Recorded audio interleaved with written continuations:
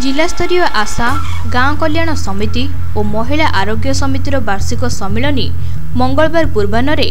ଗୋପବନ୍ଧୁ ଆୟୁର୍ବେଦ ମହାବିଦ୍ୟାଳୟ ସମ୍ମିଳନୀ କକ୍ଷରେ ଅନୁଷ୍ଠିତ ହୋଇଯାଇଛି। ଏଥିରେ ଜିଲ୍ଲାପାଳ ସମର୍ଥ ବର୍ମା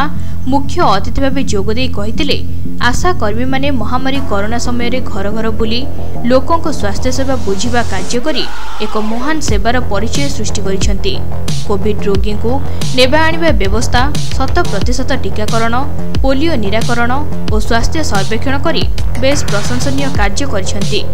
କରୋନା ଯୋଦ୍ଧା ଭାବେ ଆଶାକର୍ମୀ ଅନ୍ୟ ରାଜ୍ୟ ପାଇଁ ଉଦାହରଣ ସୃଷ୍ଟି କରିଛନ୍ତି ବୋଲି ଜିଲ୍ଲାପାଳ ଶ୍ରୀ ବର୍ମା କହିଛନ୍ତି ଡେଲାଙ୍ଗ ଅରିସଲର ଆଶାକର୍ମୀର ସଚଳା ବେହେରା କଣାସ ଗଡ଼ିଶାଗୋଦାର ଝୁନାମଣି ପାଇକରାୟ ପିପିଲି ଗୁଡ଼ିଆ ପୋଖରୀର ମଞ୍ଜୁବାଳା ଦେବୀଙ୍କୁ ମହାମାରୀ କରୋନାର ଅବଦାନ ଯୋଗୁଁ ସେମାନଙ୍କୁ ମାନପତ୍ର ଟ୍ରଫି ସହ ଦଶ ହଜାର ଟଙ୍କା ପ୍ରଦାନ କରାଯାଇ ସମ୍ମାନିତ କରାଯାଇଥିଲା। ଜିଲ୍ଲାର ବାରଟି ଗାଁ କଲ୍ୟାଣ ସମିତି ପାଞ୍ଚଟି ଗ୍ରାମ ପଞ୍ଚାୟତ ଦଶଟି ମହିଳା ଆରୋଗ୍ୟ ସମିତିକୁ ପ୍ରଶଂସାପତ୍ର ପ୍ରଦାନ କରାଯାଇଥିଲା।